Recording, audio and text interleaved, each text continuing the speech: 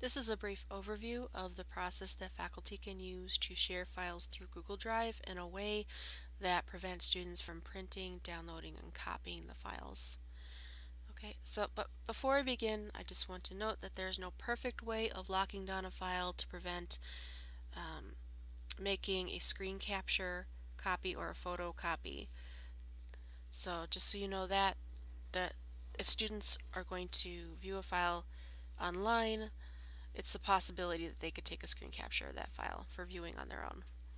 Alright, so here's an example of a Google Drive where I've got some files stored and let's say I want to share this document here that's actually a Word document I uploaded into Google Drive.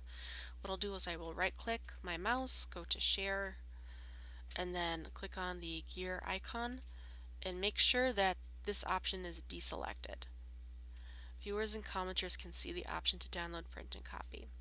So when you share this file with a viewer or a commenter, they're not going to be able to access those functions. Okay? So once I have reviewed those settings, I can review my share settings here, how I'm going to distribute this link. And I have this set to anyone with link to prevent additional steps and having to log in. But of course, if you wanted that extra security, you could make this uh, option where students have to log in with their MATC Gmail accounts to access the file. But I'm going to just leave this as anyone with link. And then I will copy the link and then I will distribute this through Blackboard. So here's my course and in my content area I will create a web link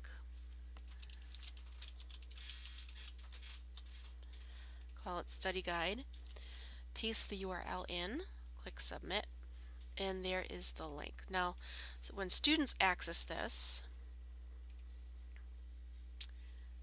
they'll click on the link and it will open up and preview within the browser like so. So that they'll be able to view the content. Um, they will not be able to use their mouse to highlight and copy. If I right click on the selected text, nothing's going to happen.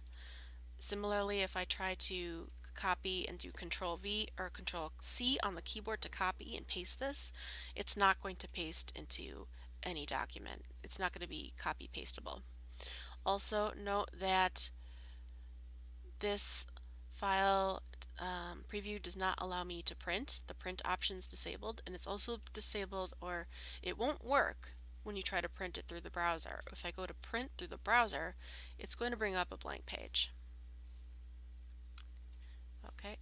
Now, although students can use the shortcut tools here to add the file to their, their Google Drive, it's not going to create a copy. It's just going to link to the original.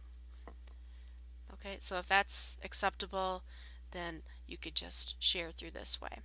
So this option should work for um, any files that you have here in Google Drive, whether they be um, files that you've uploaded like a Word document, a PDF, a PowerPoint, or Google files that you've created with Google Docs, slides, or sheets.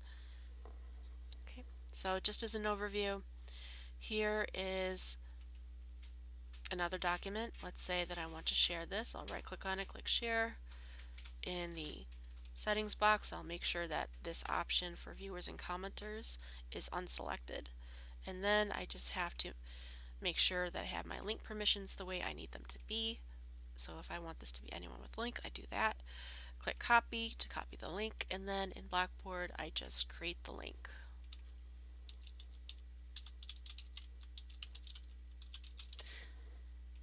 Like so. And then when students come along into the course, they'll click on that file link and they'll be able to view it, but they won't be able to print it, copy it,